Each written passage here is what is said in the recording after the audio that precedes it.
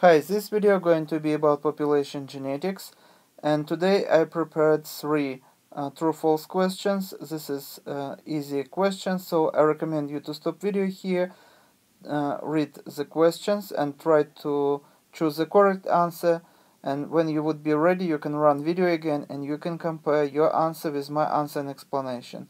So here is the first question. Evolution by natural selection works best in population having no variation.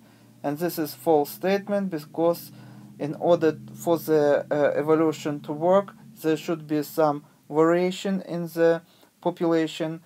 So uh, each individual should vary to the um, small extent and uh, best suited uh, genotypes or phenotypes uh, would uh, prevail and this is how uh, uh, evolution happens because uh, when we have variation some of the variants would be more better suited for the environment and some less.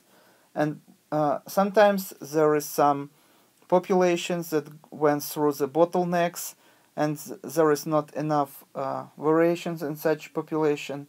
And in uh, such events like uh, some disaster events like uh, for example virus uh, disease the whole populations uh, can be wiped out uh, because uh, there is no variations. But when there are variations like we can see it through whole history of the humankind even some disease that wipe out half of the Europe but still due to variation uh, some of the people were uh, been uh, able to survive so they were best suited. And um, this is how evolution works. So next question. The effects of the genetic drift are most apparent in small populations.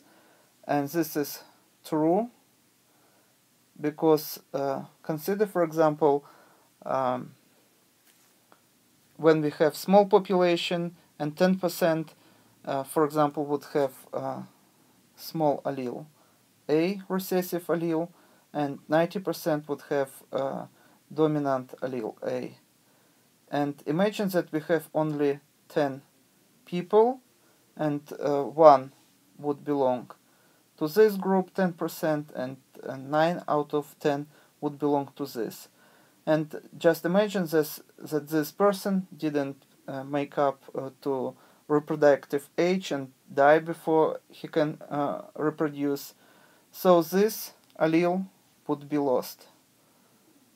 So uh, this is because this is small population. But imagine that this population would be, for example, of the 10,000 individuals, and uh, that means uh, this 10% or one individual would uh, represent 1000 uh, individuals. So if there is no selection against this genotype uh, small allele A, that is uh, recessive allele, if there is no um, selection against this uh, phenotype or genotype, then even if one or two or three person uh, wouldn't be able to reach reproductive age, on overall this wouldn't affect its frequency in the gene pool, this particular allele.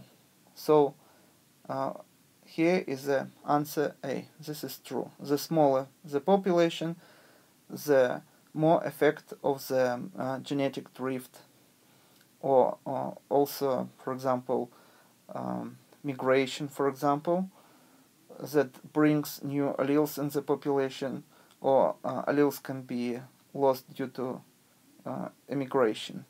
So, next question. Inbreeding increase the population of uh, homozygous individuals in a population. And this is true because when we have inbreeding, with each round of inbreeding, for example, if we take plants, uh, we can start uh, with uh, heterozygous um, plants in the most uh, loci but with each round uh, of the self-pollination, the uh, heterozygosity would be lost by 50%.